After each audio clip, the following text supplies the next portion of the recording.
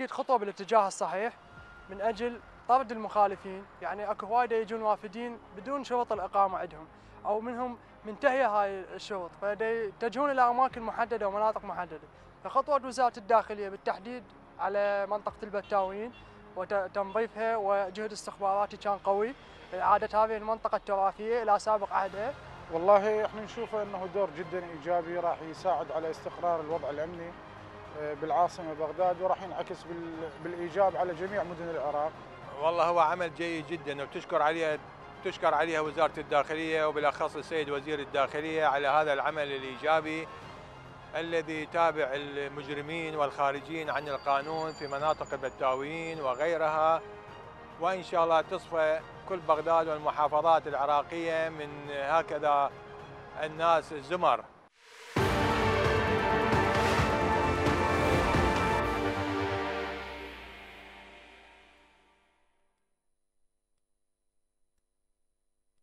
حياكم الله. ملخص القصة سيناريوهان الأول دخول مشروع بفيزا سياحية وبعد انتهاء مدة الشهر تسقط الشرعية وتتحول إلى عكسية. والثاني دخول غير مشروع من منافذ غير رسمية.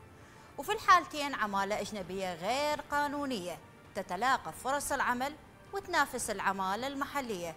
وما تفسح مجال المنافسة في القطاعات والمراكز التجارية.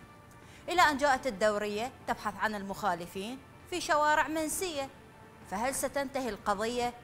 أموال التسجيل لا تصل لأبواب العمل وأربابهم يتعمدون الزلل والحملات الحكومية تتكرر دون استجابة تذكر أما الشركات الاستثمارية فلا نسب لتشغيل العراقيين ولا طاعة للقوانين والجزر الوسطية خير شاهد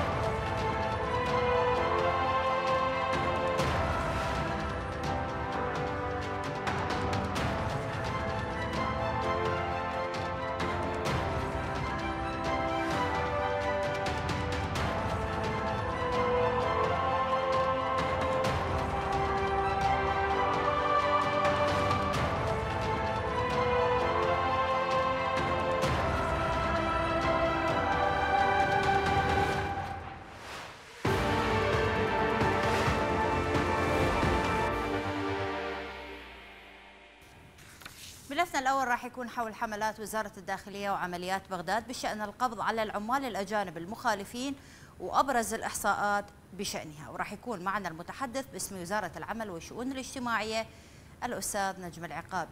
حياك الله. أهلا وسهلا. أهلا وسهلا. أستاذ نجم بصراحة ما هي أعداد العمالة الأجنبية في العراق؟ الحقيقة الوزارة لا تمتلك يعني عدد يعني عدد العمالة الأجنبية الغير شرعية. هنا فقط المسجلين والحاصلين على رخصة عمل آه، يعني بحدود أكثر من 42 ألف عامل أجنبي هو حاصل على رخصة عمل. أما بصورة عامة هاي من ضمن مهامنا. يعني أعتقد من ضمن مهام وزارة الداخلية هي التي تمنح الفيزا حتى نعرف أعداد العمالة الأجنبية الغير شرعية. زين إلى ماذا تستندون بتوظيف العمالة الأجنبية في العراق؟ يعني حضرتك قلت 42 ألف. يعني الرقم مو قليل. لا طبعا هذا العدد زياد ونقصان. إحنا اليوم العامل الأجنبي لما يدخل للعراق ويمنح رخصة عمل راح هي لمدة سنة. مرات السنة تنتهي وما راح يجددها. وهذا أدى نقصان هذا العدد وبالعكس. الحقيقة إحنا اليوم وزارة العمل والشؤون الاجتماعيه وضعت آليات محددة خاصة في هذا الملف. حتى نطبق قانون العمل النافذ هو رقم 37 لسنة 2015 المعني بتشغيل 50% من عمالة الوطنية قابلة 50% من العمالة الأجنبية مو بس هذا إحنا اليوم لا نسمح بدخول العمالة غير الماهرة يعني فقط العمالة الماهرة ومو بس هذا نبحث في قاعدة بيانات دائرة العمل والتدريب المهني يعني إيش تقصد بالعمالة الماهرة؟ الماهرة اللي تمتلك يعني هذا الاختصاص أنا عندي ما متوفر في قاعدة بيانات وزارة العمل والشؤون الاجتماعية. راح نبحث في قاعدة بيانات دائره العمل والتدريب المهني، إحنا عندنا اليوم أكثر من مليون و700 ألف باحث من جميع الاختصاصات من أصحاب الكفاءات من الجنسين. فقط إذا اعتذر المرشح لهذه الوظيفة يسمح بدخول العامل الماهر. وأيضا ترفق شهادة الخبرة مصدقة من قبل وزارة الخارجية أو من قبل السفارة العراقية. شلون هذا الكلام استاذنا؟ اليوم المواطن يسأل يقول لك هذا البنغلاديشي، هذا النيجيري، هذا السوري، معقول هذا عنده مهارة اللي دخل بها أنا للعراق؟ أنا تحدثت الآن وضعنا الآليات مقيدة ومحددة. أي. يعني الآن في هذا الأوقات خاصة أما انتشرت العمالة بصورة واسعة. يعني هو شلون ياتي يدخل العراق؟ يأتي بصيغ مختلفة. بينكم فيزا سياحية أو دينية. بعدين تهرب إلى سوق العمل. هي هاي الطريقة. وين الضوابط هاي هناك أكو إحنا عمل مشترك بيننا وبين وزارة الداخلية وخاصة ذات الإقامة.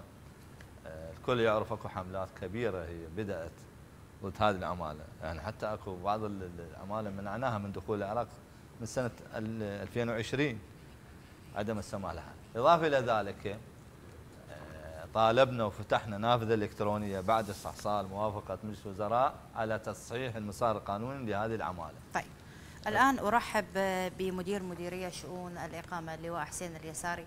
حياك الله سيادة اللواء. أهلا وسهلا. سيادة اللواء تأخرت علينا عسى المانع خير إن شاء الله؟ لا ماكو هو جزء من التأخير هو يمكن هنا النداء. يعني المفروض أنتم مؤمنين الدخول بحيث ندخل مباشرة يعني. ينادي وانتظر وينادي حياك الله وسامحنا. وخلينا نبدأ بملف الحلقة. ما فاتك هواي سيادة اللواء. نعم. نتحدث عن العماله الأجنبية بالعراق بصورة عامة. العماله الأجنبية انتشرت. أستاذ نجم ذكر 42 ألف عامل في العراق. شنو السبب؟ إحنا بالنسبة لدخول العماله الأجنبية يكون عن طريق وزارة العمل والشؤون الاجتماعية. وفق قانون العمل رقم 37 لعام 2015 نعم. إحنا عندنا 102 بالعراق 102 شركة آه، متعاقدة مع وزارة العمل والشؤون الاجتماعية لاستخدام استخدام العمالة فيما يخص الرجال والنساء. طيب. طبعا النساء تكون على الهاوس كيبرز اللي هي مدبرات المنزل وأكثر شيء من الدول الأفريقية. يعني هاي المدبرات آه، تستخدم للعمل داخل داخل العراق عن طريق هاي الشركات. يعني حاليا ما يخلو بيت من من بالعراق خاصة بغداد من وجود من وجود هذه العاملات هذه الشركات عملها منظم آه، وفق ضوابط آه، قانون العمل. تستخدم هذه العاملات بصورة صورة قانونية وإحنا بمديرية الإقامة نسوي لها إقامة سنوية. طبعا بها إجراءات هي تحويل كفالتها إلى شخص عراقي آه، من من الشركة للشخص العراقي وتمنح إقامة لمدة سنة وتجدد طبعا. بالنسبة إلى الرجال أيضا نفس الضوابط يعني نعم. ضوابط وزارة العمل. وزارة العمل هي اللي تحدد آه، كيف تمنح إجازة إذن العمل بداية من ثم إجازة العمل للعامل العربي أو الأجنبي العمل بالعراق. وفق ضوابطهم هم وفق وفق رسومهم. هذه العمالة المنظمة طبعا اللي إحنا وياها. العمالة بالعراق يجب أن تنظم. إحنا كمديرية إقامة نقف بالضد بشكل مطلق من العمالة الأجنبية العشوائية. لكن سيادة اللواء هي غزت بغداد. اي نعم. غزت نعم العراق نعم بشكل حقيقة مخيف. نعم نعم موجودة. حاليا نحن آه، آه، مديرية الإقامة وبإشراف مباشر من قبل معالي وزير الداخلية المحترم نقوم بحملات مستمرة للقبض على المخالفين من الأجانب لقانون الإقامة وقانون العمل ويتم ترحيلهم إلى بلادهم الإحصائية اللي وصلت حاليا عندنا لغاية لغاية اليوم اللي تم ترحيلهم طبعا. 4658 مخالف أجنبي.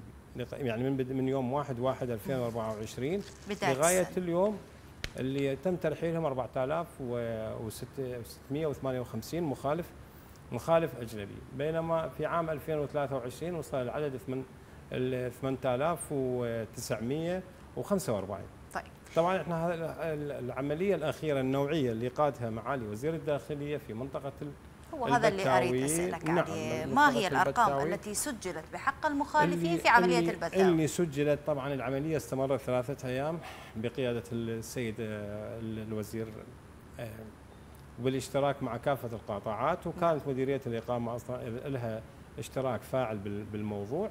إحنا قبضنا على 600 على 608 608 مخالف أجنبي لقانون الإقامة مو قانون العمل. يعني إحنا لقيناهم كانوا ذولا متواجد هؤلاء كانوا متواجدون. يعني بس نعم. فهمني حضرتك من تقول مخالفين لقانون الإقامة مم. يعني إجا فيزا سياحية طبعا. وبعدين انتهتوا بقى طبعا بالعراق؟ طبعا. إحنا نمنح آه، حسب قانون الإقامة نمنح 11 نوع من السمه ستة من هذه السمات هي آه، تمنحها مديرية الإقامة وخمس سمات تكون مشتركة بين وزارة ال- وزارة الخارجية ووزارة ال- الداخلية تمنح لفئات آه، آه، خاصة نعم هذه السمات كلها محددة بفترات للبقاء يعني سمه ال- الزيارة لمدة شهر، السياحة لمدة شهر، الاضطراريه لمدة شهر، المتعايده لمدة شهرين، إذا تجاوز هذه المدة وما مدد يعني إحنا عندنا السمات آه، كلها تمدد لمرة واحدة تمدد برسم مضاعف، إذا طيب. ما مدد لا طبعا أكيد راح يعتبر مخالف. فهؤلاء مخالفون شنو لقانون عقوبة الإقامة. المخالف؟ طبعا غرامة 500 ألف دينار ومن ثم يبعد إلى خارج العراق واكو أكو أمور تترتب على هذا الإبعاد اللي هي منع دخوله لمدة سنتين. إحنا خلينا نرجع على موضوع العمالة وآثارها، العمالة إذا ما تنظم وفق وفق آه، آه، ضوابط وزارة العمل والشؤون الاجتماعية بها أضرار، الأضرار اللي بها اولا راح تكون استنزاف العملة الصعبة من داخل البلد، أضرار صحية قسم كبير من هؤلاء خاصة الآسيويون. من يتحمل مسؤولية يا سيادة اللواء؟ يعني يتحمل يعني كمسؤولية هي يتحملها هو نفسيته اللي مخالف. لأن الدولة سمحت له بالدخول للعراق بصفه زيارة، إحنا عندنا المادة 10 اولا الغرض من دخول لازم يحدد الغرض من دخول الزيارة، أي أجنبي يدخل بالاستمارة يحدد الغرض، يعني الغرض من الزياره زي- زيارة العتبات المقدسة لازم يلتزم بهذا الموضوع، السياحه دي سياحة أثرية وضحت يلتزم. بهذا الموضوع. نعم زيارة أقارب يلتزم إذا خالف هذه هذه ال- ال- الشروط هاي المادة اللي هي الغرض من الزيارة راح راح يدخل في مخالفة قانون الإقامة وإذا تخلف يصاحبها أيضا تخل تخلف وتأخير عن المغادرة صارت عنده مخالفة هذا مديرية الإقامة تتخذ به الإجراءات حول حول طيب. إبعاده خارج البلد طبعا إضافة إلى الأضرار الصحية يعني قسم ال- ال- آه، الأجانب الآسيويين ذولا مصابين بأمراض معدية زين مو يسوي لهم فحص قبل نعم دخولهم للعراق؟ نعم نعم من يدخل أيضاً. فحص الكبد الفيروسي نعم نعم التهاب الكبد الفيروسي اللي هو ال hepatitis disease هذا مرض معدي مو صحيح؟ زي إي نعم مرض معدي وخاصة بال بال بالأماكن السياحية يعني مثلا الكافيات المطاعم وكذا لأن هذا واحدة من وسائل الانتقال طيب. مالته اللي هو ال- اللعاب والسليفة آه، آه، خاصة إنه إحنا كافة المرافق الصحية مالتنا حاليا تتوفر بها تتوفر بها النارديه طيب. نعم اسمح لي أن أتوجه بسؤال لأستاذنا، أستاذ نجم الآن سيادة اللواء وضح كل كل شيء فيما يتعلق بوزارة الداخلية. نعم. الآن أسأل حضرتك أعداد مضاعفة تدخل العراق. يا ترى هذا إقبال من الشركات ال- ال- العاملة في العراق خاصة في مجال القطاع الخاص؟ وين الإشكالية؟ منو منو يمنحهم سمة الدخول والعمل في العراق؟ آه، الحقيقة إحنا مثل ما ذكرت إحنا اليوم لدينا أكثر من 42 ألف عامل هو حاصل على رخصة عمل يعني أي. مجال إحنا الفترة الأخيرة يعني الآن وضعنا آليات محددة حتى نحد من هاي العمالة الأجنبية ولهذا لا يسمح اليوم بدخول غير العمالة الماهرة عندنا اليوم مليون وسبعمية ألف باحث عن عمل من مختلف الاختصاصات. مو بس هذا إحنا حتى وزعنا سمارة استبيان للشركات الاستثمارية المتعاقدة مع الحكومة. حتى نطلب منه ما هو الاختصاص اللي, اللي يرغب به راح إحنا شو نسوي؟ عندنا مراكز تدريبية في بغداد والمحافظات نزج الباحثين زين. نزج الشباب هذه النقطة وضحت لي إياها، إيه. ما نسبة العراقيين المشاركين في في الشركات الاستثمارية لا في العراق؟ حقيقة إحنا قانون العمل النافذ رقم 37 لسنة 2015 تشغيل 50% عمالة وطنية قابلة 500 عمالة أجنبية مو بس هذا كانت هناك لجنة مشتركة أيضا مع وزارة الداخلية حتى نزيد هاي النسبة اليوم اللي نسعى إلى تشغيل 70% وأكثر من 70% من العمالة الوطنية. معمول بها بال- نعم. بالاستثمارية الاستثمارية. المشاريع الاستثمارية. يقابلها 30% عمالة أجنبية. محلية و30 أجنبية. معمول الحقيقة بها. الكل يعرف يعني حتى هاي الحملات الحملات التفتيشية على هاي الشركات الاستثمارية. نعم. هي مو بس احصاء العماله ال- الوطنية العراقية لا العماله الأجنبية حتى إذا ما مشمول بالضمان الاجتماعي بداخل البلد لا يشمل هنا داخل العراق. بقانون الضمان الاجتماعي. طيب. لهذا أكو إجراءات وأكو تعاون مشترك بينه وبين وزارة الداخلية وخاصة ذات الإقامة. اليوم الكل تبحث عن فرص عمل وإحنا شرعنا قوانين مو بس العمال عندنا قانون تقاعد وضمان اجتماعي قانون مهم جدا بامتيازات هذا بدأ العمل به؟ كبيرة. إن شاء الله خلال الأيام بس من شهور الدوره صادق على التعليمات طيب. والآليات راح نعمل به. راح نعرف العامل في القطاع الخاص شنو حقوقه. اليوم رب العمل طبعا دائما العامل إيه، يبحث عن فرصة عمل ولهذا الكثير منهم خالف أصحاب العمل يخوف العامل. لهذا اكو هي نسبة محددة يدفعها 12% صاحب العمل و5% العامل. العامل يتحمل الاثنين يعني 17% ولهذا هذا يعني فد خطأ كبير جدا ولدينا منو؟ كبيرة على أصحاب العمل المخالفين كثير منهم حقيقه. لدينا اجراءات وصلت إلى فرض غرامات كبيرة جدا. إحنا بمجرد وصول التعليمات أي. بمجرد المصادقة. راح عندنا آه، تعاون أكيد مع وسائل الإعلام ومن خلالكم أيضا حتى نعرف العامل هاي حقوقك حتى نعم. لا يتخوف طيب. فأكو إجراءات حقيقية إن شاء الله. سيادة اللواء شنو هي شروط استحصال الإقامة؟ وبصراحة أتحدث معك. اللي دنشوف ظاهرة بال- بال traffic light بهالنسبة. يكون كلهم من السوريين أو اللبنانيين. مع احترامي للجميع ست أنا أحب يعني أن أ- أ- أجاوب حضرتك من على السؤال اللي يتردد حاليا بال- بالشارع يعني أي. يعني لما يعني لماذا دخول الاجانب يكون بهذه الصورة بالنسبة للعراق؟ إحنا أول مرة لازم نحدد ال- ال- الطرق اللي يدخل بها ال- الاجنبي العراق، إحنا عندنا موضوع ال- ال- الزيارات الدينية والزيارات السياحية والأثرية. يعني خاصة على قسم السياحة في مديرية الإقامة. عندنا إقبال شديد من من الأجانب حاليا للدخول. وراح نعطيك هسه إحصائية مثلا. عندنا الأجانب اللي دخلوا العراق عام 2023 يعني رقم مهول اللي هو 8 ملايين آه، اللي آه، 8 ملايين و705 ألف و185 أجنبي عدد جدا كبير. طبعاً. شنو كانت دخلوا أهداف للعراق- الزيارة دخلوا- للعراق؟ دخلوا للعراق بقصد الزيارة الزيارة الدينية. زياره دينيه الزيارة الدينية والزيارة السياحية. حاليا إحنا عندنا إقبال إقبال من الدول الأوروبية ل- للدخول إلى زيارة المناطق الأثرية خاصة بعد زيارة ال- البابا للعراق للاطلاع على المعالم الأثرية. استقرار الوضع نعم الأمني في العراق. ال- اللي دخلوا. بالزيارة الأربعينية فقط لهذه ال- الزيارة الأخيرة. دخلوا عندنا 3 ملايين و604 ألف. 3 ملايين هاي فقط بالزيارة ال- بالزيارة الأربعينية. إضافة إلى الزيارات الأخرى اللي موجودة عندنا الزيارات ال- المليونية الدينية تدخل آه، ملايين من من الزوار الأجانب. آه، إضافة إلى عندنا إحنا زيارة الأقارب يعني عندنا والأصدقاء. العديد من العراقيين هسه صار عندهم أصدقاء بعد سقوط النظام بالدول. العربية والدول الأجنبية وجهوا لهم دعوات زين وهذه كليتها تحضر زيارة العراق ما ادى لأنه ارتفاع العدد في عام 2023 إلى 8 ملايين و705 ألف وأكثر بعد زين. هذه إيجابية هذه- للعراق نعم هاي نقطة إيجابية لأن إحنا عندنا من موا من من مصادر تمويل الموازنة في كل عام من مصادر تمويل الموازنة هي هي الرسوم السمات اللي اللي تحصصها آه، وزارة الداخلية. من الأجانب. قسم من ذول الأجانب يعني مثل ما هسه إحنا عندنا مردود إيجابي جدا مهم من دخول الأجانب اللي هي سمعة العراق مكانته اطلاع الأجانب على وضع العراق الموجود حاليا أكو اذا تظهر يظهر side effects بهاي العملية اللي هو قسم من الأجانب يتخلفون من من بعد دخولهم للحصول على. أعدادهم صارت هواي نعم بالعراق بعد بعد الانفتاح الاقتصادي العظيم اللي صار بالعراق أي. ومرور هذه الدول بأزمات اقتصادية أدى إلى أنه توجه عظيم إلى من هذه الدول الحضور نعم. العراق إلى العمل.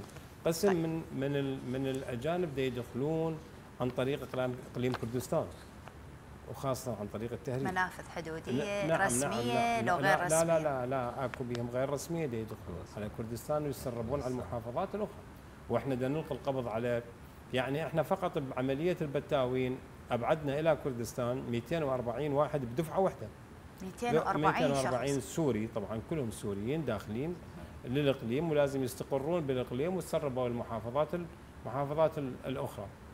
الوزارات وال- والهيئات العراقية أيضا تستخدم عمالة عمالة مو قليلة. تستخدم خبراء تستخدم فنيين تستخدم عمال عمال. ذولا إحنا نمنحهم سمة دخول متعددة لمدة طيب، سنة. قسم من هؤلاء يتسربون من هاي الأماكن. هو هاي اللي يتسربون من هاي الأماكن لأن يحصلون فرص عمل أفضل من خلال الأجانب الأصدقائهم الموجودين هسه بالمطاعم وكذا ويشتغلون يسوون كونتاكت اتصالات وياهم. طيب. وفروا لهم فرص. ذولا يتسربون من هاي الأماكن.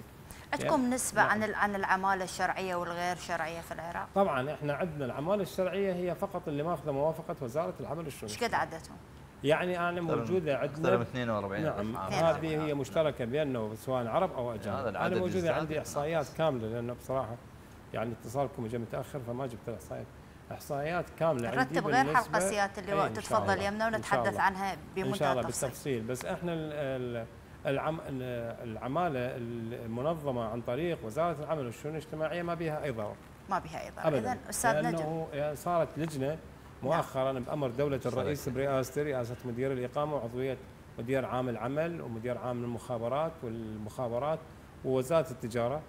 وضعنا ضوابط جدا ملزمة ومحددة ومشددة في موضوع موضوع العمل وإن شاء الله حصلت المصادقة عليها. بس يقولون الإجراءات زين. روتينية ومتعبة سيادة اللواء أي هاي يجاوب عليها الاستاذ لا لا بالعكس إحنا هاي الاليات. يعني أصحاب العمل دائما هي بداية تطبيقنا هاي الآليات. أي.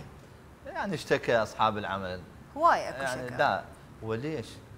إحنا حتى ما ما, حتى نحد من هاي العمالة حتى نطبق القانون العمل بصورة واسعة. لهذا ما ما يعني ما نسمح بدخول غير العامل الماهر غير يعني مو بس هذا إحنا عندنا مختلف الاختصاصات. لا جميع الاختصاصات. حتى لو ما عندنا إحنا مثل ما ذكرت لك. وزعنا السمارات السبيان بس للشركات. أستاذ نجم حتى- مليانة عمال نيجيريين ويقول لك هذا تغيير ثقافي للعراق. إحنا صحيح من نجيب الهاوس كيبر للبيوت العراقية هو لكن هذا راح يطعن ما وقد تكون بها. هواي مشاكل. هو أكثر شيء هسه على مدبرات المنازل بصورة أيوة. واسعة. هذا أكثر شيء. مدبرات المنازل ما يحتاج أنا أبحث في قاعدة بيانات العمل والتدريب المهني هاي ما يحتاج لا أنا فقط يعني الاختصاص ما موجود إيه، خاصة في الشركات خاصة إحنا في الشركات الاستثمارية. يعني هي المتخصصة أكثر شيء بالصناعة النفطية. اليوم الشباب كلها تبحث عن فرص عمل. ولهذا طلب منهم ما هو الاختصاص حتى ندربهم بس العمالة. الأجنبية تنافس العمالة العراقية. لا ما إحنا اليوم الشاب العراقي ما جاي يلقى له شغل لأنه السوري واللبناني لا والبنغلاديشي لا لا وهذه الدول. الكل يعرف ترى موجودة العمالة. السورية تعمل في أعمال بسيطة في المرافق الحياتية المطاعم يعني الحلاقة يعني ال- الكافتريات ما يعمل في شركات وفي. صناعات مهمة جدا لا إيش قد نسبة تشغيل العراقيين بالشركات يعني الاستثمارية إحنا, إحنا الأجنبية؟ اليوم آه، إحنا طبقنا وموجود القانون 50 مقابل أما الشركات الاستثمارية لا راح يوصل أكثر من خم- من 70% يعني بحدود 75% عندك إحصائية دقيقة؟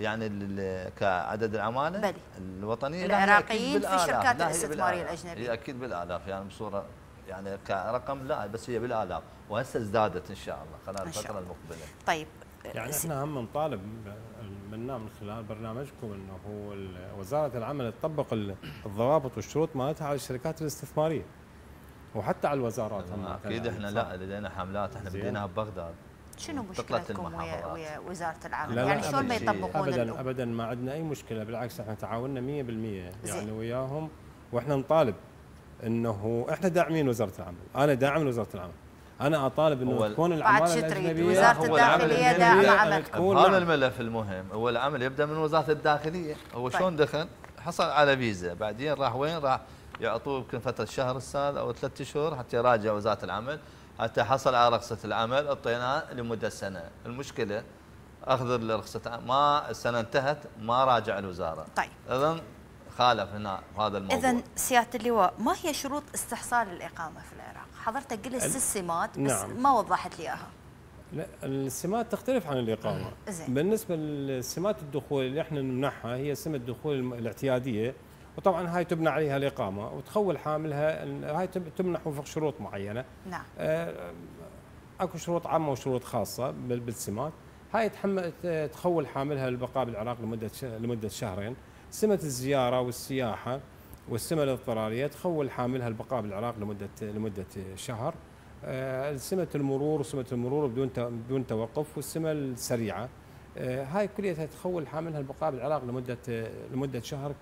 وكلها قابلة للتمديد. ممكن نعم. إنه يقدم طلب بكفالة عراقي ونمدد له لمدة شهر شهر آخر.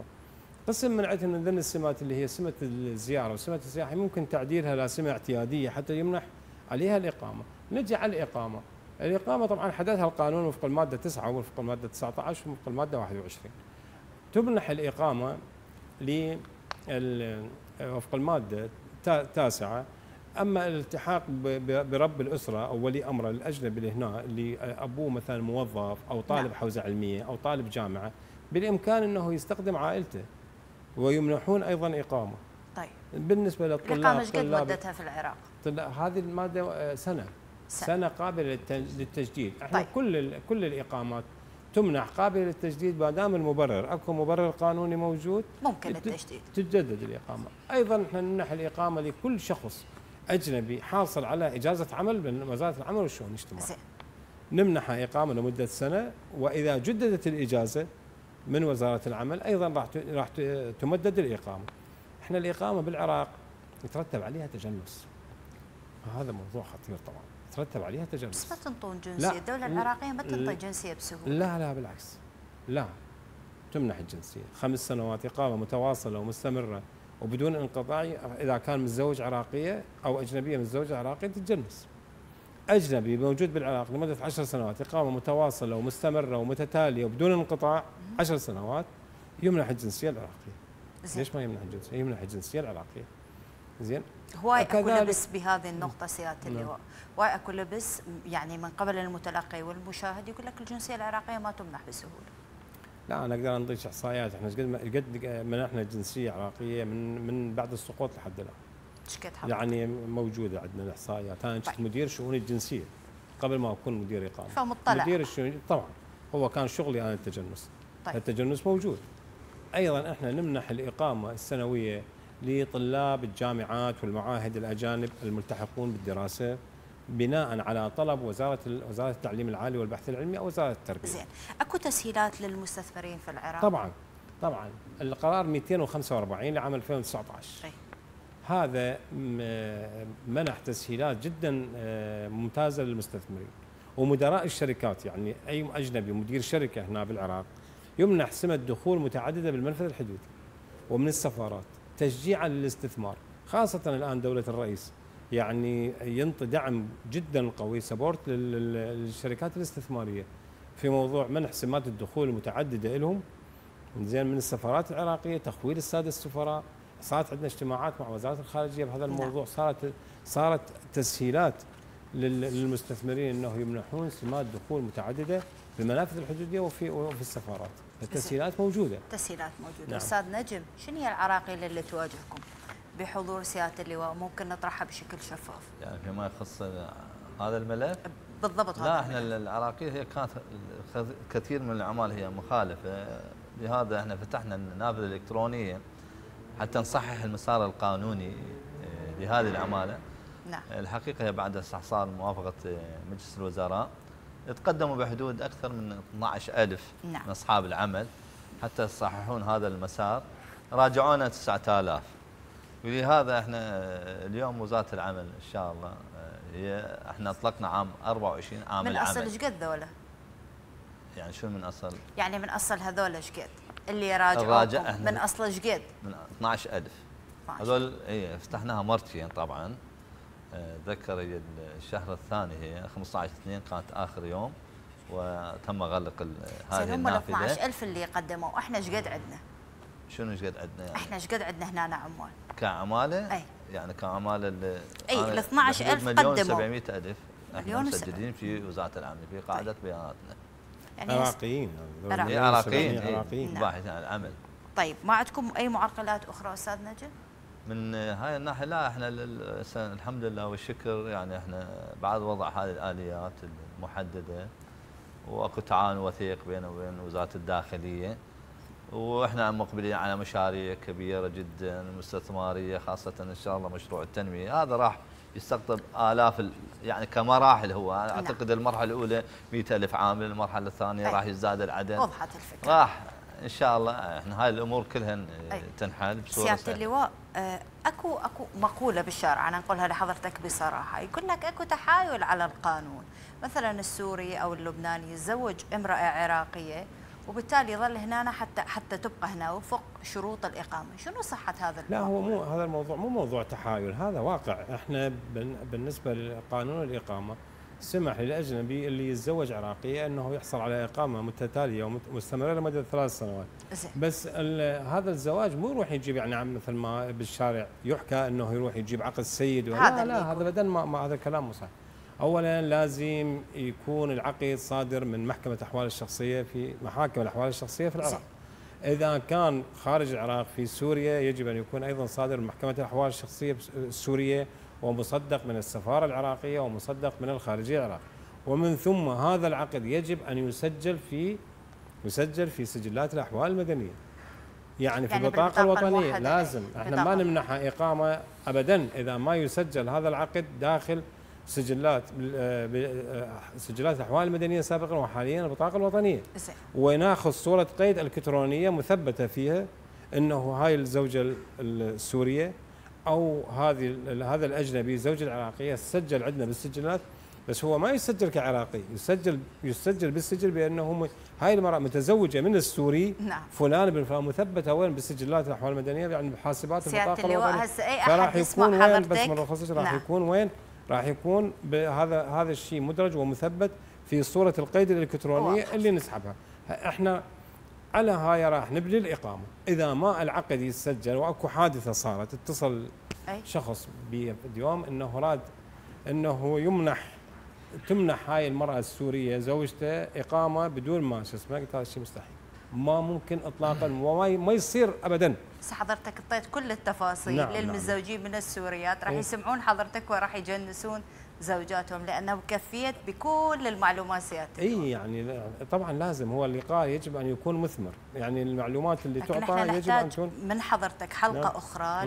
ل- لقراءة. كل التفاصيل طبعا إن شاء الله حاضرين شكرا جزيلا نعم. بس وبارك موضوع الله الموضوع ال- الأجنبية زوجة العراقي طبعا حاليا أكو فتح حملة جدا قوية من العراقيين لزواج السوريات يعني تقريبا خلال قرأت تقرير خلال شهرين من شو اسمه المحاكم السورية سجلت 3700 حاله زواج من عراقيين من سوريات هذه السورية ما تمنح إقامة إذا ما تدخل عندنا بسجلات الأحوال المدنية ابدا. وما تدخل بسجلات الأحوال المدنية إذا ما يكون عندها عقد زواج رسمي صادر من. محكمة الأحوال الشخصية العراقية عقد أو رسمي من من- المحكمة. نعم أو من محاكم الأحوال الشخصية السورية مصدق من السفارة العراقية مصدق من الخارجية وضحت الفكرة جدا نعم. مدير مديرية شؤون الإقامة اللواء الحقوق حسين اليساري حياك الله الله نورتنا في. حلقة اليوم شكرا جزيلا المتحدث باسم وزارة العمل والشؤون يسلمك. نجم العقابي شكرا. جزيلا شكراً على جزيلاً. كل ما تفضلتوا به من. هذه الإيضاحات شكرا جزيلا نختم وياكم ملفنا الأول بأبرز ما جاء في منصة إكس حول ملف العماله الأجنبية في العراق مع الزميل شيبان سامي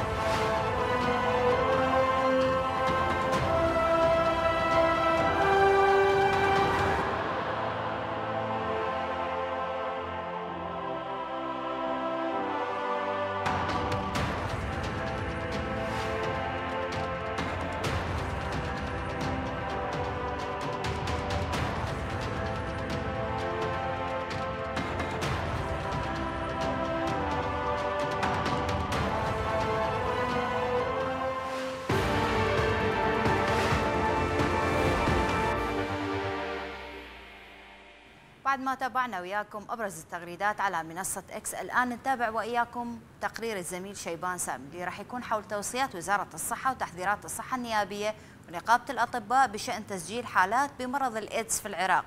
نفتح وياكم بتقرير لشيبان سامي. لنتابع.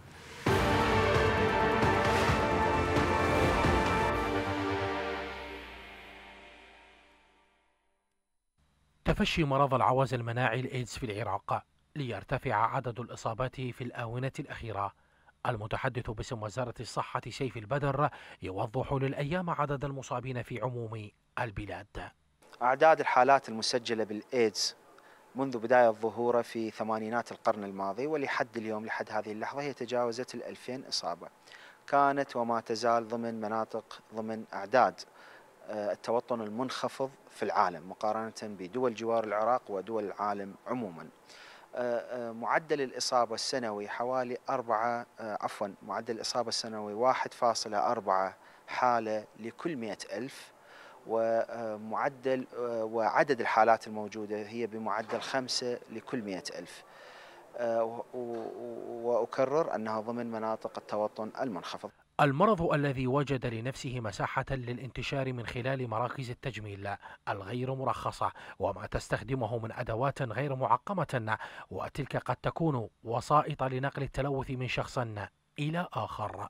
مرض الإيدز مرض انتقالي عدوى ينتشر عن طريق آه، آه، يعني عن عدة طرق لكن الطريقة الرئيسية منها هو طريق الانتشار أو التنقل عن طريق المراكز التجميل الغير مرخصة على اعتبار أنه المواد أو الآلات التي تستخدم تستخدم لعدة مرات لعدة مرضى وبالتالي هذا الأمر يسبب انتقال العدوى إلى أكثر من أكثر من مريض.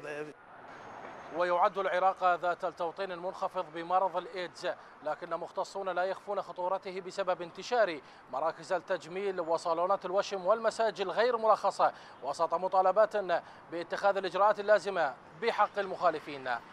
من بغداد شيبان سامي الأيام الفضائية.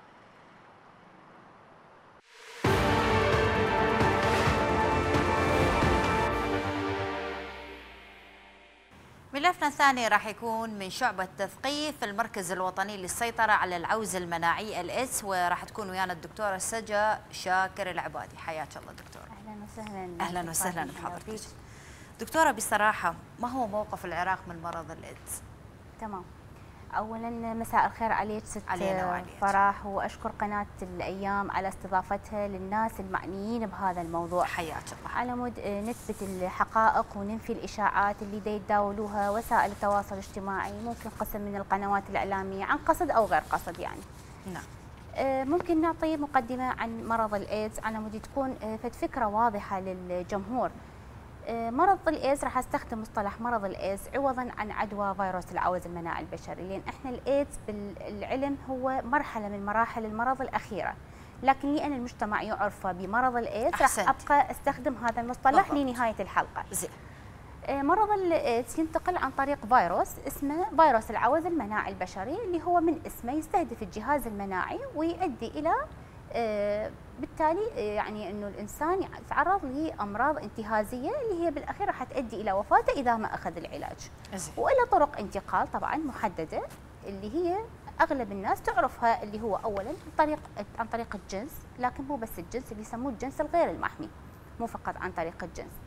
الطريقة الثانية عن طريق نقل الدم الملوث بالفيروس الطريقة الثالثة عن طريق مشاركة الأدوات الجراحية الملوثة. طبعا هذا المصطلح آه، تندرج تحت مظلته آه، كل الأدوات الواغزة المحاقن الملوثة آه، حتى الأدوات المستخدمة بالتاتو أو الحجامة الملوثة. طبعا إحنا دائما نستخدم كلمة الملوثة مع هذه الأدوات. من الأم المصاب الأم الحامل المصابة إلى طفلها أيضا تنقله عن طريق بالحمل أو الولادة أو الرضاعة الطبيعية. طيب. وآخر طريقة اللي هي عن طريق زرع الأنسجة والأعضاء الملوثة. هذه بكل بساطة طرق انتقال فيروس الإيدز. وضحت الفكرة جدا. أكثر من 2638 حالة. هاي صرح بها وزير الصحة لجريدة الصباح. طيب الرقم مو قليل دكتور تمام. آه، الأعداد اللي تتداولها الوسائل التواصل أو قنوات من فضلك مو وزير الصحة رئيس لجنة الصحة النيابي. أنا أصحح هذه المعلومة. آه، تمام. آه، أنا يمكن راح أعطيك الرقم الحقيقي للإصابات اللي مسجلة في العراق. هو 2230 إصابة حية لأشخاص يعني لا يزالون آه، على قيد الحياة. هذا الرقم هو بكل بساطة رقم تراكمي. يعني آه، مو رقم تسجل خلال سنة وسنتين. رقم تم تسجيله منذ بدء البرنامج في عام 1986 ولحد الآن. هذا رقم الإصابات التراكمي يعني مو إحنا خلال سنة وسنتين صار عندنا هيك إصابات.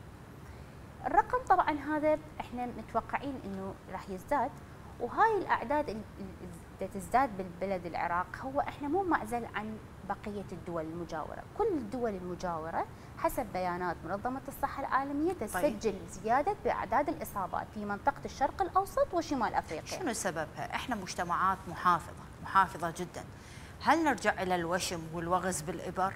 هو هذا سبب مراكز التجميل سبب انتشار الإز في مناطق الشرق الأوسط؟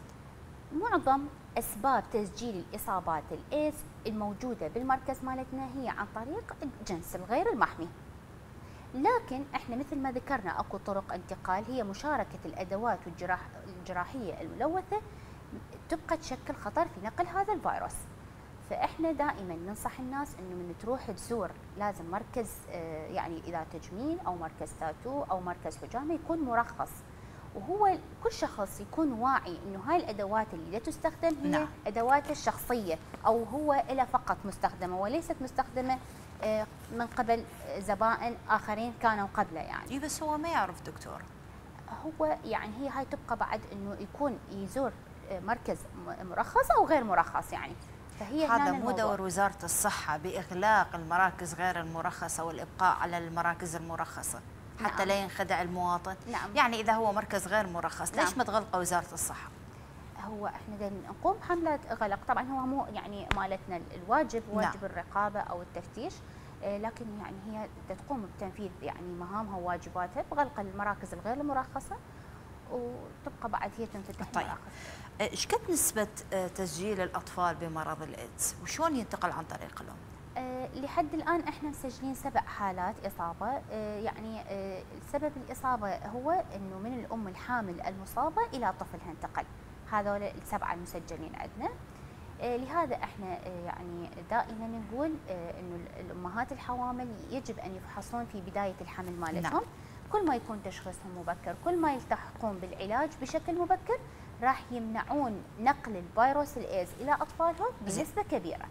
هسه إحنا وضع الايدز نعم. في العراق طبيعي تحت الطبيعي لو نسبته عالية دكتور.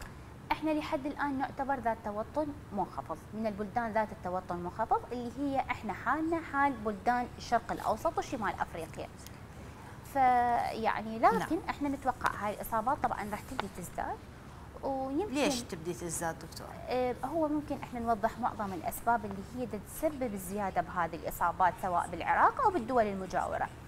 آه، أهم الأسباب هو أنه آه، ممارسة الوصمة والتمييز تجاه هذا المرض. هذا المرض إلا تح يعني إلا محددات اجتماعية ودينية.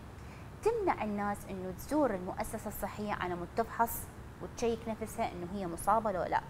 تمنع الأشخاص المصابين هم أساسا إنه يراجعون المؤسسة الصحية ويطلبون يكونون خطر على المحيط الدائر مدايرهم دكتور. هو إحنا لو ما عندنا ممارسة وصمة وتمييز بالمؤسسات الصحية ما راح يتردد المواطن بزيارة المؤسسة. وهذا الشيء يعني واحد من الاستراتيجيات العالمية إنه نحارب مو يعني الوصمة والتمييز على مود نسيطر على الوباء. شلون نزلت الإصابات بالدول الأوروبية والأمريكية؟ هسه انت لو تشوفين الترند الإصابات بهاي الدول يبدي يعني ينزل. طيب. مو معناها إنه هم ما يمارسون العلاقات الجنسية الغير محمية، لكن أكو زاد عندهم غير استراتيجيات للسيطرة على الوباء. طيب. من ضمنها اسمحي لي دكتورة فقط أن أرحب بالدكتور حسنين صفاء شبر نقيب أطباء العراق حياك الله دكتور. دكتور أسألك عن تقييمك لوضع العراق بتسجيل حالات الإصابة بمرض الإيدز. الوضع مقلق لو تحت السيطرة. نعم. آه، الحقيقة نقابة أطباء العراق آه، هي مو بالدرجة الأساسية الجهة المعنية بتسجيل يعني عدد الإصابات. لكن إحنا أيضا نتلقى تقارير من تقارير وأرقام من زملائنا في وزارة الصحة. اللي فهمته من الأرقام اللي أعلمونا بها انه لحد الآن عدد الحالات هو لا لا يمكن اعتباره عدد كبير أو عدد خارج السيطرة طبعا. آه، لكن أيضا إحنا لسنا من الدول التي تشهد تناقصا في الأعداد. آه، بمعنى أنه إحنا عندنا عدد آه، محدود لكنه لا يتناقص وهذا بحد ذاته يعني المفروض يكون عليه عمل أكثر. نعم. يعني من عدة اتجاهات. لعكس الوضع وتحويله إلى عدد متناقص يجعل المجتمع في أمان أكبر. طيب. آه، يعني أريد أسأل حضرتك بصراحة آه، تفشي الإيدز بسبب مراكز التجميل والوشم غير المجازة في العراق أو بسبب العلاقات الجنسية غير المحمية كما تفضلت الدكتورة لو الأدوات الملوثة وبالتالي نقلها للسليمين؟ يعني شنو المشكلة دكتور؟ بصراحة. وأكثر أكثر من عامل يمكن آه، يعني الإشارة إلى في موضوع انتشار يعني الاتش اي في العامل المشخص في العراق دكتور. إحنا الحقيقة في العراق من الثمانينات تزايد يعني ظهور هاي الأعداد بسبب عمليات نقل عوامل الدم وحاليا معروف أنه عمليه الممارسات الجراحية المخترقه للجلد بصورة عامة بشكل غير آمن في مراكز التجميل وفي غير مراكز التجميد أيضا ممكن يكون آه، عامل نقل خطير جدا صراحة طبعا بالإضافة إلى موضوع ممارسات الجنس غير الامنه. طيب دكتور بصراحة ما هي إجراءاتكم بحق مراكز التجميل والوشم غير المجازه؟ آه، حقيقة نقابه اطباء العراق آه، قامت بجملة من الإجراءات التفتيش والمراقبة ورفع الدعاوي. خلال السنتين الماضية نقابة أطباء العراق رفعت 230 دعوة آه، ضد مراكز تجميل غير مرخصة آه، و... نعم.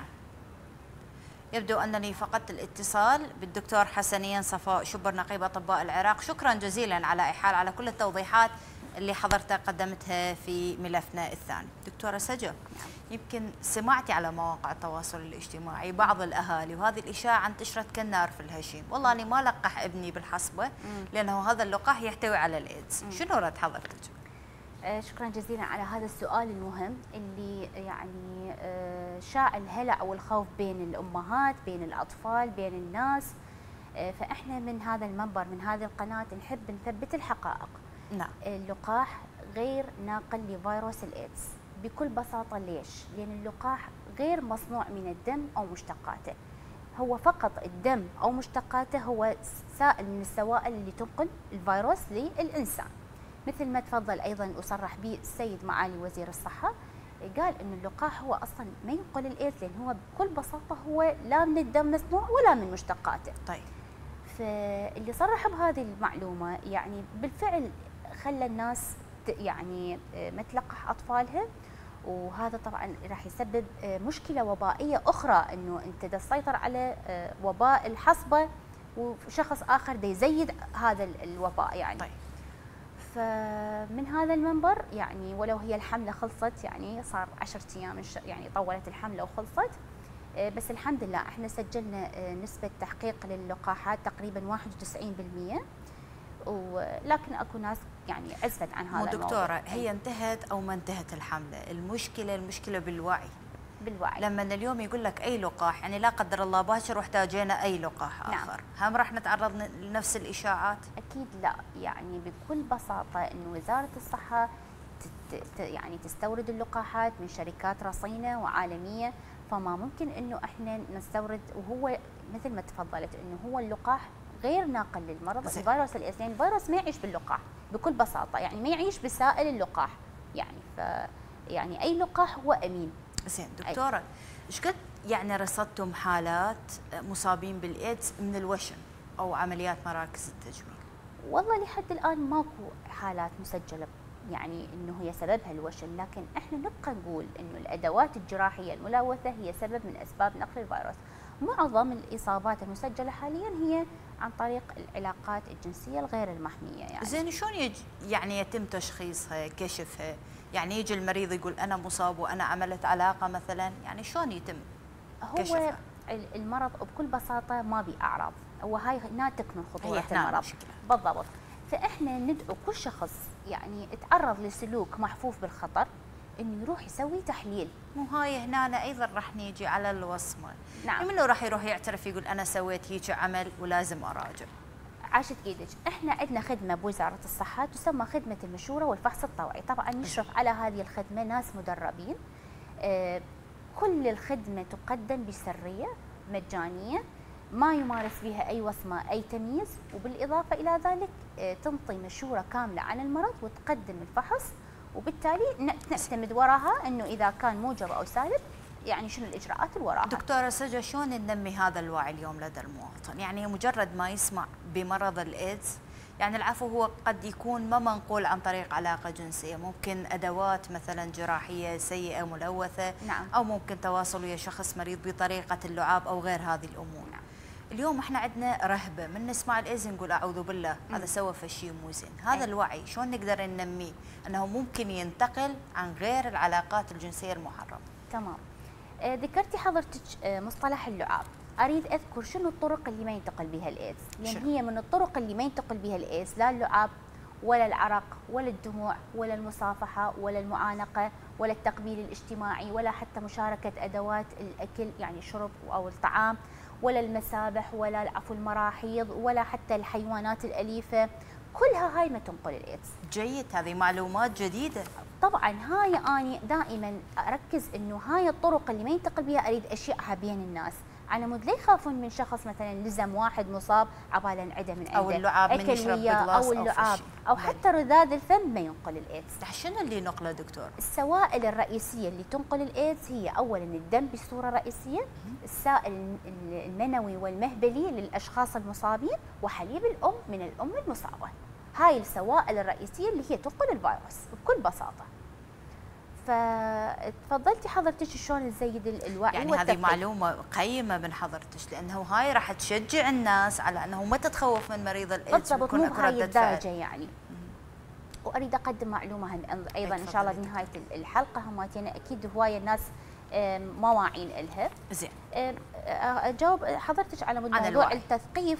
طبعا إحنا وزارة الصحة تبذل جهود كبيرة لغرض السيطرة على الوباء سواء إجراء فحوصات سنوية. يعني إحنا نصرف تقريبا 3 ملايين فحص لإجراء ال HIV test نقدم الخدمات العلاجية للمصابين نوفر مراكز علاجية وإرشادية لهم نحدث أدلة العمل مالتنا وإلى آخره من الخدمات.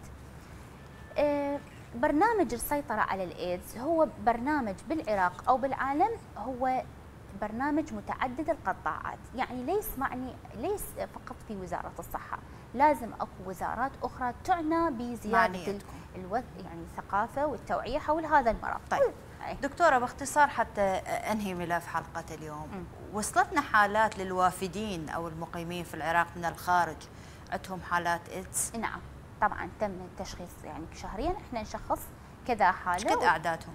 ويتم ترحيلهم والله تختلف من شهر لشهر بس هي يتم ترحيلهم يعني عن طريق مباشرة. الإقامة مباشرة نعم. ما يبقون يعني بس حب ست فرح أريد بس إنه مرض الإيدز تحول حاليا من مرض مميت إلى مرض مزمن ليش؟ لأن أكو هسه علاج متوفر يسيطر على الحمل الفيروسي بس مو شافي تماما هو يعني شلون الأمراض المزمنة ياخذ المريض العلاج يوميا حبة واحدة ويعيش حياته الطبيعيه حاله حال الأشخاص غير المصابين. شكرا جزيلا دكتورة على كل هاي التوضيحات. شكرا. كانت حلقة مثمرة جدا مع حضرتك دكتورة سجا شاكر العبادي من شعبة تثقيف في المركز الوطني للسيطرة على العوز المناعي وما يعرف بالإيدز. شكرا جزيلا شكرا. على كل هذه شكرا التوضيحات شكرا. شكرا. ختام حصادنا بموجز يلخص أبرز أخبارنا المحلية لهذا اليوم.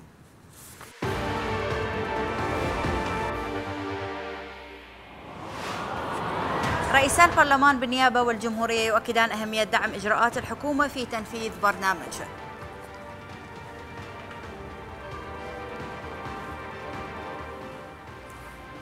رئيس هيئة الحج الشعبي يبحث مع الرئيس السوري ضبط الحدود وملاحقة التنظيمات المتطرفة.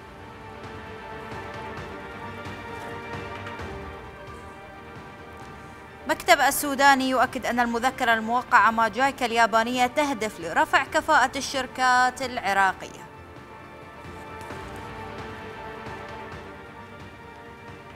جهاز الأمن الوطني يعلن ضبط أكثر من 2500 طن من الحنطة المهربة والتالفة.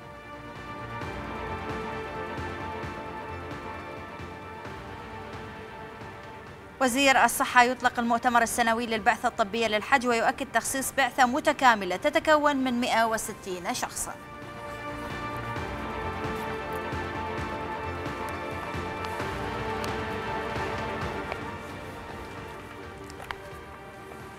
الحصاد انتهى. شكرا على كرم المتابعة وتصبحون على ألف خير.